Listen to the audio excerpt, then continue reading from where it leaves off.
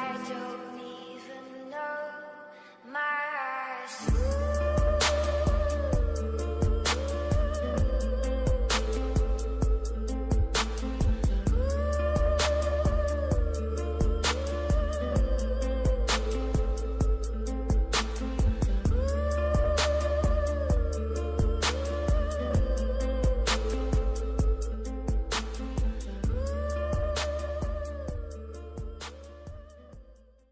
Salve rapaziada, filho. Nesse vídeo eu vim aqui mostrar pra vocês como que eu fiz esses halteres aqui feito. Bom, eu tinha postado aí no, na comunidade do YouTube que eu fiz esses halteres e tal, fiz de supino também.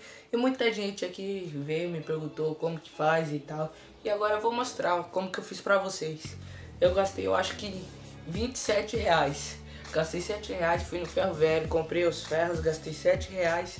E gastei o resto do dinheiro, eu gastei com dois sacos de cimento, um saco de pedra e um saco de areia. E o saco de pedra e de areia tá aqui guardado, ainda tá restando aqui. Então, tipo, tu gastou 27 reais pra fazer dois halteres e pra fazer um halter grandão de supino.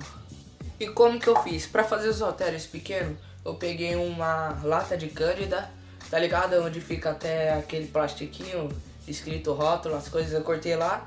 Joguei cimento dentro, vamos supor que foi essa lata aqui. Joguei cimento dentro, e aí joguei cimento, meu pai fez o cimento e tal, colocou areia, pedra, cimento, água e tudo, fez o cimento. Coloquei aqui dentro, coloquei tipo ferro. Isso aqui é uma caneta mais forte que é o ferro. Dentro e aí esperou secar. Ficou lá secando, demorou dois dias e tal pra secar o lado. Depois meu pai pegou a, o outro outro negócio, né? A outra latinha de cândida, colocou cimento dentro e aqui como tava seco, ele virou aqui, ó. E aí colocou desse lado. Então, tipo, ficou, ficou tipo assim, ó. Assim, vamos supor que essa parte de baixo não tinha, só tinha essa parte.